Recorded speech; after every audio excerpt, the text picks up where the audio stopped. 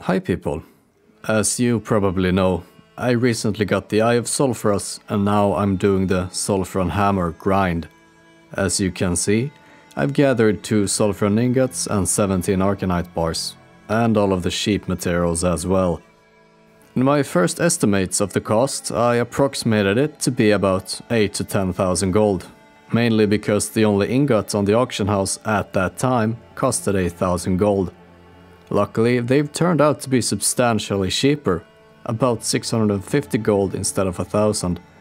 Taking that into account, I need about 4820 more gold. As you can see here, I'm mining the nodes in the end of the Dire East instance. And I've done quite a few runs as of making this video. About 65 runs in total.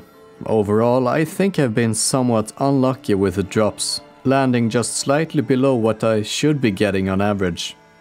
You know, according to the drop rates and stuff. I have been getting a bit worn out from this farm as of now, but that tends to happen after 20 runs per day. A run on average probably takes about 17 to 18 minutes. I had done about 42 runs when I bought my second ingot, so on average it takes about 21 runs to make enough gold to afford an ingot. 21 runs with a bit of luck perhaps. The worst thing without a doubt is when you die to a stupid mistake or when you do 8 runs without getting a single crystal or blue sapphire. It seems like 3 runs then a short break is sustainable for a longer period of time. I have been considering other farms, but this is probably the most effective one I can do. I did try to farm some Winterfall Firewater, but I got ganged 10 times in an hour, so I left that place. I didn't get a single firewater either. So, back to Dire it was. I think I need to do another 150 runs or so. If I can manage 20 a day, I'll be done in not too long. Just gotta keep myself from quitting the game once I'm finally done. I also wanna say that I'm taking some pride in doing this by myself. I'm planning on giving back two arcane crystals to my warrior friends to even it out. Once that is done and I finally got the hammer, I can say that I 100% did this by myself. And I, as I said, take some pride in that. So anyway, that's my current progress. I don't fully hate it yet, but who knows how I will feel in a hundred runs. I hope you're finding this series interesting. Like if you enjoyed and subscribe to not miss a single one of the coming 150 runs. I don't have anything more to say for this video. I'll just let the remaining clips of me mining the thorium veins play out. I'd be curious to know whether you think I'm unlucky or if this drop rate of crystals and sapphires seems normal.